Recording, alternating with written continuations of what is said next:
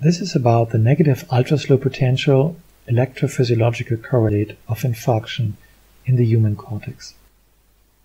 A discovery by basic and clinician scientists in the field of translational medicine. Spreading depolarization is observed as a large negative direct current DC shift in the electrocorticogram, which propagates in the brain cortex at about 3 mm per minute. The amplitude of spreading depolarization is much larger than that of any other brain wave, including seizures. Therefore, spreading depolarization has the nickname brain tsunami. The spreading depolarization continuum ranges from relatively harmless, short-lasting events in normal tissue to terminal events. Terminal spreading depolarization occurs in severely ischemic tissue. Thus, we recently found that terminal spreading depolarization is the last wave that is recorded in the brain of a dying individual. Spreading depolarization is characterized by abrupt, near-complete breakdown of the transmembrane ion gradients. More sodium ions enter the neurons than potassium ions leave it. Sodium takes water with it. Therefore, the neuronal soma swells and the dendrites bead. Beading causes restriction of intracellular water diffusion.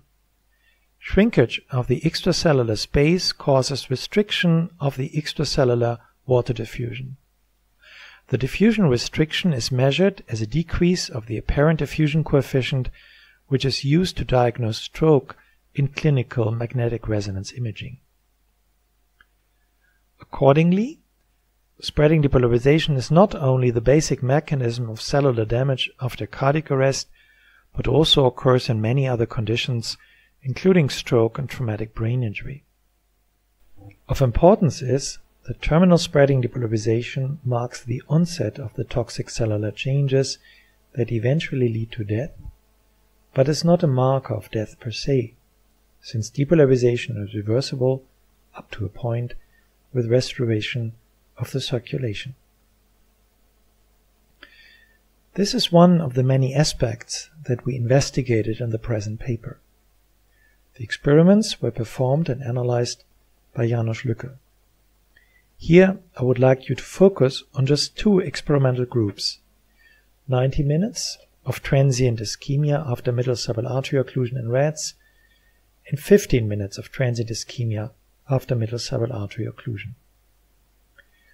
Let us first focus on the 90 minute ischemia group. In principle, the sequence of events after sudden and severe focal cerebral ischemia is very similar to the sequence of events that occur after arrest of the systemic circulation. Thus, cerebral blood flow drops, and this is followed by spreading depolarization after 1 to 5 minutes. As can be seen, spreading depolarization does not return to baseline but gives way to a negative ultra-slow potential, which we abbreviate as NUP. Thereafter, further spreading depolarizations occur superimposed on the negative ultra-slow potential. If these changes last for too long, the neurons will die.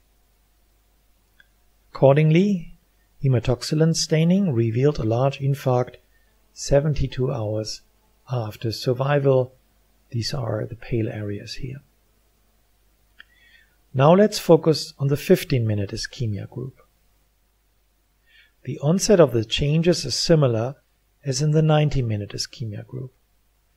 Thus blood flow drops and spreading depolarization follows. However, if the tissue is reperfused after 15 minutes, the electrophysiological changes are fully reversible. In 72 hours after survival, no infarct was found in either cortex or striatum. The paper contains an extensive analysis of all the relevant electrophysiological changes during ischemia with a focus on the NUP. Relevance of these variables to the injury was supported in the rats by significant correlations with the cortical infarct volume and neurological outcome after 72 hours of survival. We then identified NUP-containing clusters of spreading depolarizations in 11 patients with aneurysmal subarachnoid hemorrhage. The NUP-containing clusters of spreading depolarizations were analyzed by Coline Lemale. This is an example of a 61-year-old male who developed a severe subarachnoid hemorrhage with blood in the left sylvian fissure, basal cisterns, and left lateral ventricle due to rupture of an aneurysm of the left posterior communicating artery.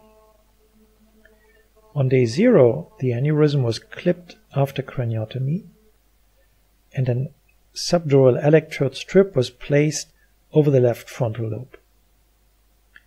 The NUP occurred here at electrodes 5 and 6 on day 3 after the initial hemorrhage. In humans, electrocorticography is performed with platinum iridium electrodes, and this electrode material explains, at least partially, the tent-like shape of the NUP. Here, representative MRI slices of the left cerebral hemisphere are displayed. On day 7, in contrast to the MRI scan on day 2, new large band-like cortical infarctions had evolved throughout the left hemisphere.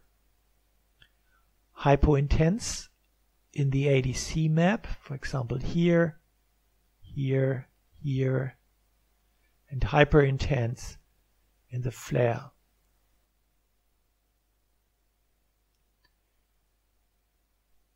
The new infarcts involve the tissue underlying electrodes 5 and 6. In contrast to the tissue underlying the other electrodes of the subdural recording strip. The lowest row shows the location of the subdural electrode strip over the left frontal lobe and the lesions projected from the MRI scan onto the CT scan. The red labeled area indicates the blood clot in the sylvian fissure that occurred early in the clinical course. The blue regions shows early infarct that were already present on day 2. The green areas are the new infarcts that were shown on day 7.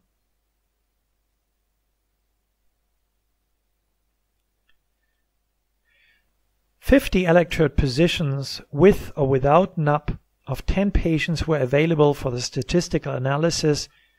In this analysis, electrodes displaying the NAP were significantly more likely to overlie a developing ischemic lesion.